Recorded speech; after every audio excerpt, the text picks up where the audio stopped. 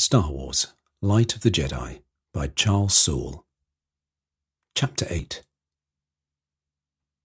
Aegir City, Hetzal Prime. 65 minutes to impact. The Force sang to Jedi Master Avar Kriss, a choir that was the entirety of the Hetzal system, life and death in constant contrapuntal motion. It was a song she knew well. She'd heard it all the time, everywhere she went. Here, the melody of the Force was off, a discordant jangle of death and fear and confusion. People were dying or felt the dread of their imminent demise. Threaded through that song, the Jedi and the brave personnel of the Republic, and the heroic citizens of Hetzal itself, using the resources they had to try to save the people of these worlds. The third horizon had landed not far from the ministerial residence in Aegir City, the capital of Hetzal Prime. The Republic was coordinating its efforts with the Hetzalian government to try to stem the tide of the disaster, ensuring the evacuation proceeded in as orderly a fashion as possible, tracking the incoming projectiles, helping as they could. Avar Kriss was still on the ship's bridge, still serving as the point of connection for the Jedi in the system, letting them sense one another's presence and location and emotional states. Sometimes words or images came through unbidden, but only rarely. It was all just a song, and Avar sang and was sung to. Still, she was able to gather a great deal of information from what it told her. She knew that 53 Jedi vectors were currently active in the Hetzal system. She knew which Jedi were working on the planet. For example, at the moment, Bell Zettifar, Loden Greatstorm's promising Padawan, was approaching the surface of Hetzal Prime at extraordinary speed. Elzar Mann, her oldest, closest friend in the Order, was in a vector of his own, flying a single person version of the ship near one of the system's three suns. He was almost always alone. Avar was one of only two Jedi he worked with regularly. It was just her and Stellan Gios. This was mostly because Elzar was unreliable wasn't exactly the right word. He was a tinkerer, if that term could apply to Jedi techniques. He never liked to use the Force the same way twice. Elzar's instinct were good, and he didn't try anything too unusual when the stakes were high. Usually, his experiments in Force techniques did expand the Order's understanding, and occasionally he accomplished incredible things. But sometimes he failed, and sometimes he failed spectacularly. Again, never when lives were on the line, but even that bit of uncertainty, coupled with Elzar Mann's general unwillingness to take the time to explain what he was trying to do, well, some in the Order found him frustrating to deal with. Avar believed that might explain his continued status as a Jedi Knight rather than a Master. She knew that bothered Elzar. He thought it was unfair. He didn't care about other Jedi's paths through the Force. Why should they concern themselves with his? He just wanted to follow his road where it led.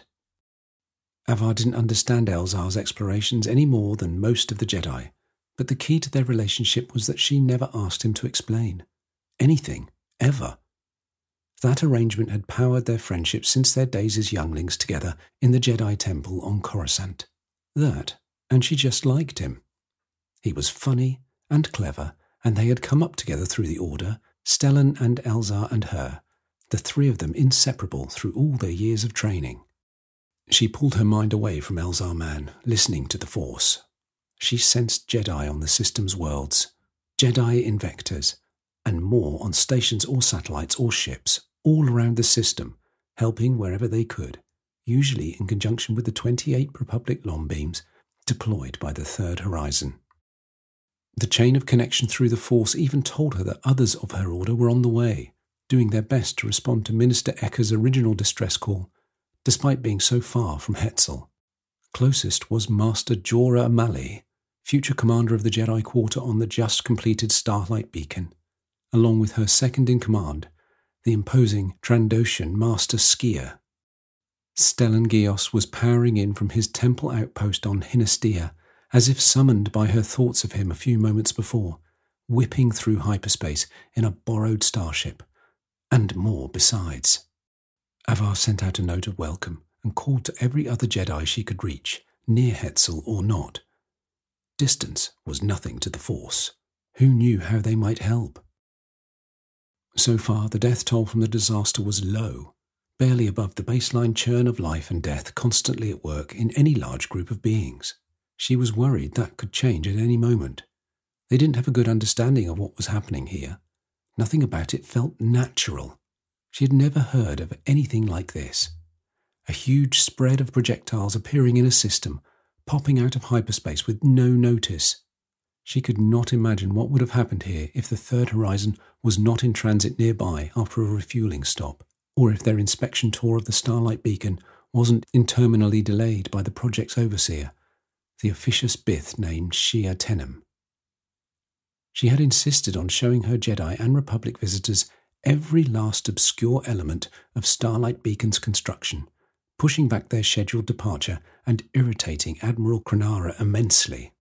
But if they had left on time, the third horizon would have been deep into hyperspace when Minister Ecka's evacuation order went out, too far to get to Hetzal in any reasonable amount of time. If not for an overzealous Bith administrator, Hetzal would be dealing with this apocalypse on its own. The Song of the Force. Between what it told Avar directly and the chatter she heard around her from the Third Horizon's deck officers, she was able to maintain an up to date picture of the disaster and all its moments, large and small. Above Hetzal Prime, a Republic technician completed repairs to an evacuation ship that had lost power on its way off planet so it could continue on its way to safety. Near the second largest gas giant, two vectors fired their weapons, and a fragment was incinerated.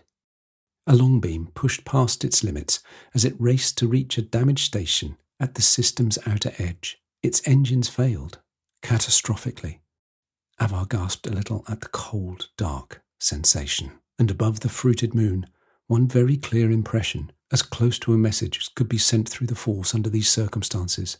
A sense from a Jedi Knight named Te'Ami that their understanding of what was happening here was utterly, tragically, incomplete.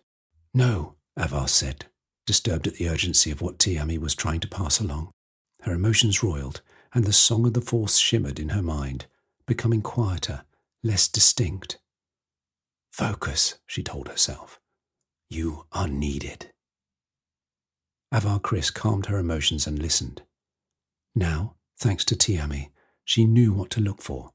She called the other Jedi's face to her mind green skin, high domed skull, large red eyes, and it took her almost no time to find what Te'Ami had tried to show her. In fact, now that she was looking, it was obvious. Avar spread her awareness through the system, pushing herself to the limit. I can't miss one, she thought. Not a single one. She opened her eyes and unfolded her legs, setting her feet once again upon the third horizon's deck. Bridge officers looked at her surprised.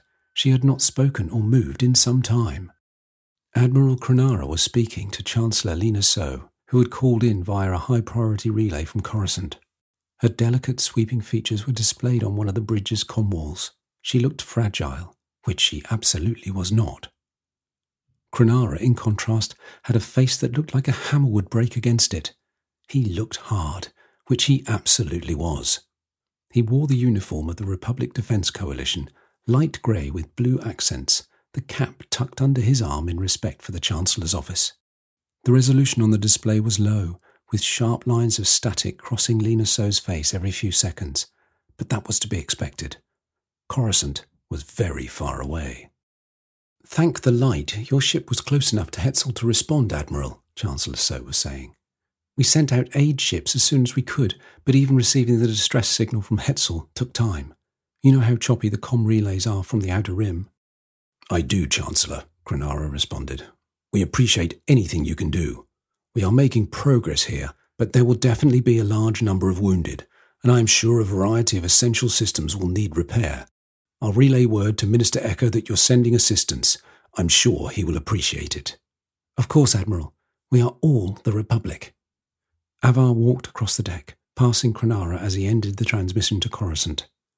He glanced over at her, curious, as she stopped before the display screen showing the status of the disaster mitigation effort all the ships, people, Jedi, Republic, locals. Red, green, blue worlds. Lives, hope, despair. She tapped certain of the red anomalies on the screen with her fingertip, As she did, they were highlighted, each surrounded with a white circle. When she was done, about ten of the projectiles were indicated. Avar moved back from the display, then turned to look at the bridge crew. They were confused, but polite, waiting for her to explain what she had done.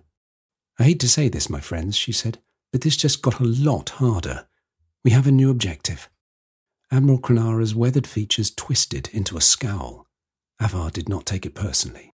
Does it replace the existing mission parameters? he said. That would be nice, she said, but no. We still have to do everything we came here to do. Keep the fragments from destroying Hetzal. But now there's something else. She gestured at the display, with its highlighted red dots racing sunward. The anomalies I have indicated here contain living beings.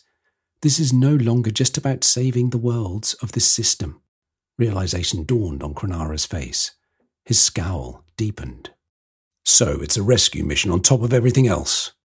That's right, Admiral, Avar said. A chorus of dismayed voices rose up as the officers realized that all their progress thus far was just the preamble to a much greater effort. How is that possible? How many people? Who are they? Are they ships? Is this an invasion? Admiral Kronara held up a hand and the voices stopped. Master Kriss, if you say some of these things have people aboard, then they do. But how do you propose we mount a rescue? These objects are moving at incredible velocities. Our targeting systems can barely hit them as it is, and now we have to dock with them? Avar nodded. I don't know how we'll do this, not yet. I'm hoping one of you might have an idea. But I will say that every one of those lives is as important as any life on this world or any other. We must begin by believing it is possible to save everyone. If the will of the Force is otherwise, so be it, but I will not accept the idea of abandoning them without trying. She moved her hand in a broad circle, encompassing the entire display board. This is all you have to work with, what we brought with us. Every Hetzalian ship is occupied with the evacuation effort, so all we've got are the Vectors and the Jedi flying them, plus the Longbeams and their crews. Find a way. I know you can. I'll send word to the Jedi. The Force might have an answer for us. The bridge officers looked at one another, then scrambled into motion with a surge of activity as they began to plan ten utterly impossible rescue missions. Avar Kriss closed her eyes. She stepped up into the air. The Force sang to her, telling her of peril and bravery and sacrifice, of Jedi fulfilling their vows, acting as guardians of peace and justice in the galaxy. The Song of the Force.